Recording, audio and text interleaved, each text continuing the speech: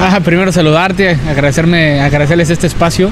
Eh, pues bueno, es, es, lindo poder volver a un lugar donde, donde te gustaba estar, ¿no? Eh, creo que tuve una revancha linda con el fútbol, me dieron una gran oportunidad en Querétaro y, gracias a, la oportunidad que aproveché, eh, hoy se me abren otra vez las puertas en, en Pumas y bueno, creo que llegamos con, otro, con otra faceta, con otra actitud, obviamente más maduros con, con lo vivido en los, en los, semestres pasados y entonces creo que es una gran oportunidad para estar aquí.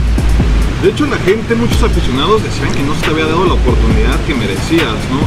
Si bien tenían que turnar Julio y tú, pues realmente eh, parecía que no fue tan equitativo como, como tú lo tuviste, la gente te pedía. ¿Llegaste a sentir fuera de Pumas en tu estancia en, reciente en Gallos, ¿llegaste a sentir a la afición de Pumas que te extrañaba? Sí, no, obviamente en su momento cuando me tocó partir eh, recibí muchas muestras de cariño. También durante el torneo que, que tuve grandes actuaciones, por ahí apareciendo en los 11 ideales y así. Siempre el apoyo de la afición Pumas estuvo presente. Creo que también eran conscientes que yo estaba un préstamo que podía volver a la institución. Entonces eh, me, siempre me sentí arropado en todos los, en todos los sentidos de la palabra. Eh, hoy me siento muy contento de volver, que, la, que, la, que esas muestras de cariño sigan estando y que, que, el apoyo siempre se ha mostrado.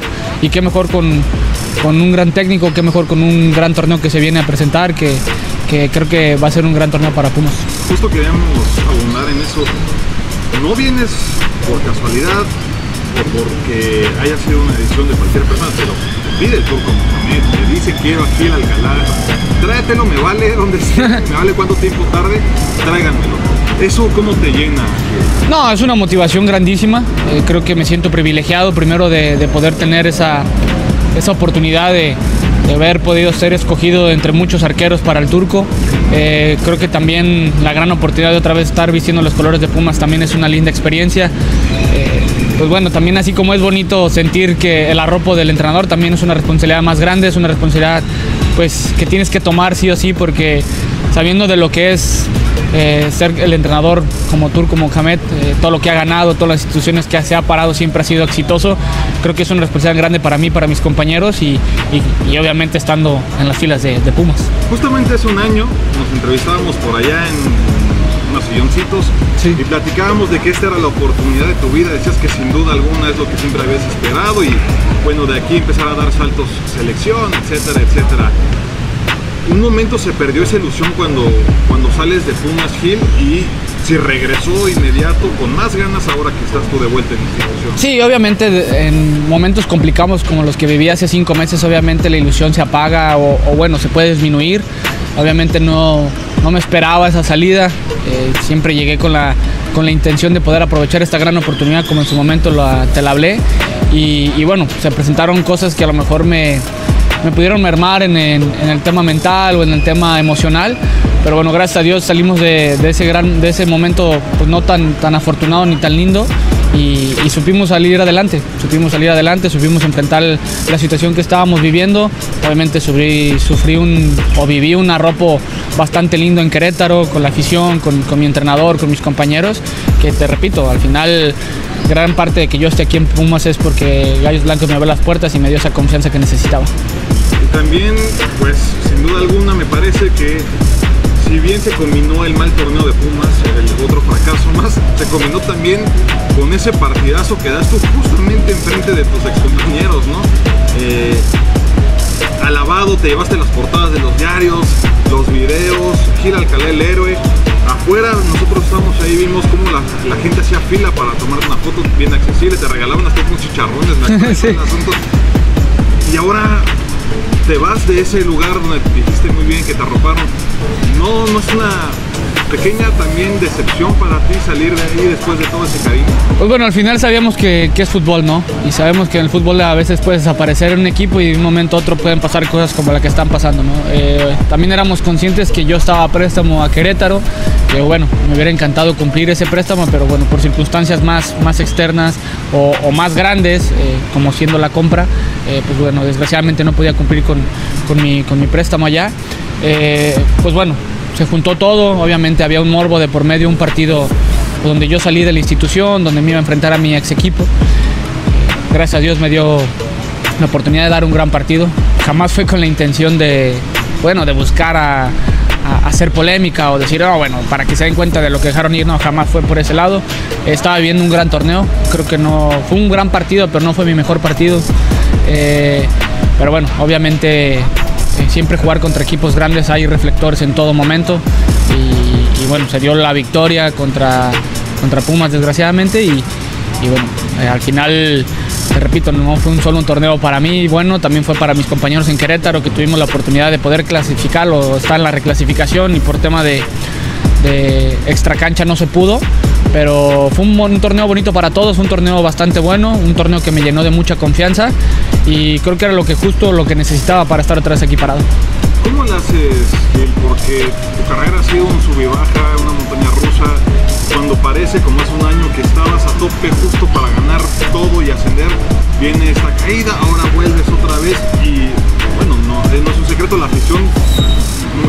piensa que tú debes ser el portero titular.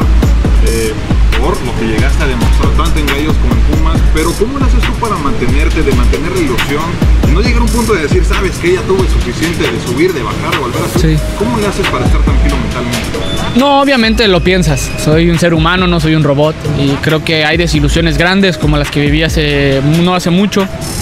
Eh, pero siempre he estado rodeado de gente que, me quiere, gente que confía en mí, mi esposa, mi familia, amigos en el fútbol, eh, que siempre me han respaldado y han dicho que tengo el talento suficiente para ser un portero de primera división.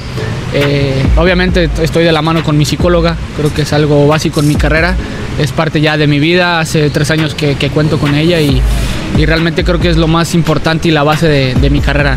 Como tú ya lo mencionas, eh, una carrera de sub y bajas que creo que nunca me imaginé tenerla así, siempre me imaginé llegando, sosteniéndome, teniendo una, continuidad, siendo más constante en los equipos en los que estoy. Y, bueno, eso, eso también perjudica en el, tema mental, en el tema familiar. Y he sabido sostenerme. A veces, muchas veces me pregunto yo mismo cómo le hago, pero gracias a Dios estoy aquí, no, no me he rendido. He luchado cada día para tener esta gran oportunidad junto con mi familia. Y, espero que, esta gran oportunidad que se me está presentando, que, que es ser comprado por Pumas y pertenecer ya directamente a Pumas, pueda ser un inicio de una carrera ascendente, una carrera continua y, que no puedan parecer esto sub y baja otra vez. Oye Gil, en estos seis meses que estuviste fuera de Pumas, ¿cómo analizaste tú al equipo? ¿Cómo viste tú qué es lo que fallaba?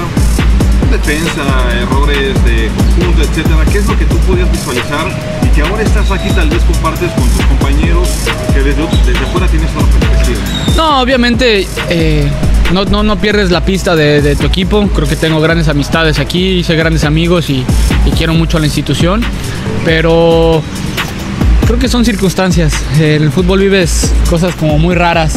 Eh, Pumas no jugaba nada mal, eh, tenían gran posición de pelota, a lo mejor no entraba la pelota. Son las expulsiones, diferentes circunstancias que te orillaron a no tener los resultados adecuados. Obviamente siempre es, triste que, tengan que correr algún entrenador por los malos resultados. Los jugadores somos los primeros culpables de, que eso pase. Pero creo que al final el equipo siempre se ha mostrado con buena cara. En los últimos cuatro partidos que estuvo el Turco, tres los ganaron y desgraciadamente tuvieron el descalabro contra Monterrey. Creo que vienen grandes cosas, se ha visto bien el equipo. Obviamente cada entrenador tiene diferentes tipos de, ver las cosas. Eh, el turco quiere reforzar algunas otras áreas, en su momento Rafa reforzó otras áreas y, creo que eso es lo bonito del fútbol, ¿no? Las revanchas que se vienen, creo que Pumas está en un gran momento para, para demostrar de ser un equipo grande y, qué mejor con, un gran técnico, con, un gran torneo que se va a venir, con, los refuerzos que puedan llegar, con, lo que se pueda acomodar y formar en el equipo. Y obviamente la, revancha y, la, esa vergüenza deportiva que tenemos todos para hacia la institución y hacia la afición, que, sé que sé y tengo muy buena, eh, muy buena vibra que, que las cosas van a salir muy bien justamente te iba a decir para finalizar el mensaje a la afición nuevamente después de caer feo. Claro con la llegada del turco, ahora sí con el mando desde el principio, con tu regreso, ahí con algunos rumores, por ejemplo, de que pueda llegar eh, Rogelio y con Ergas eh, por lateral, con algún central ahí brasileño que puede. Otra vez, la afición de Pumas se vuelve a alzar, vuelve a confiar en el equipo, pero de, de viva voz de Gil Alcalá, que se nota y se siente que trabajas y que tienes un sentimiento idóneo por el éxito, ¿cuál es el mensaje que le envía a la afición de Pumas? No, conocemos a la afición de Pumas, ¿no? Sabemos que por muy molesta que pueda estar o que a lo mejor sienta tristeza por lo, por lo vivido en los últimos torneos, siempre va a estar ahí. Y nos lo ha demostrado, bueno, desde que yo llegué ha demostrado que siempre va a estar para el equipo, que siempre va a estar en el estadio CU, a donde quiera que vayamos siempre tenemos la afición. Eh, pues escuchará trillado, ¿no? Pero de verdad que no dejen de creer, que, sigan apoyándonos en todo momento como es. Eh, yo principalmente sé que las cosas van a salir muy bien, eh, nos vamos a esforzar muchísimo como, como jugadores, tenemos un compromiso grandísimo a título personal, también un, compromiso grandísimo teniendo un gran entrenador como lo es Turco. Y, creo que eso ilusiona también para nosotros, nos ilusiona muchísimo eh, tener estas, estas herramientas, como tú bien lo mencionas, que vienen algunos refuerzos con nombre, algunos refuerzos que, nos pueden venir bien para el grupo, para generar esa competencia tan buena que se necesita en un grupo para ser exitoso. Eh, lo mismo que siempre le decimos todos, ¿no? La verdad es que, es un agradecimiento primero total por, por ese empeño, por esas ganas que siempre le ponen para, para demostrarnos su apoyo y, que esté, y que estén seguros que este torneo va a ser un gran torneo. Breve Gil, ¿ya te mencionaron que va a ser titular? No, no, bueno, obviamente te tienes que ganar un lugar. Eh, aquí nadie firma siendo titular. Entonces, creo que tengo que demostrar cada, cada entrenamiento con, el entrenador. Eh, lo que hice en Querétaro ya quedó. Creo que fue una buena muestra, pero yo estoy ahorita en Pumas y tengo que demostrar eso y, cada día estar listo para, para ver si me toca ser titular.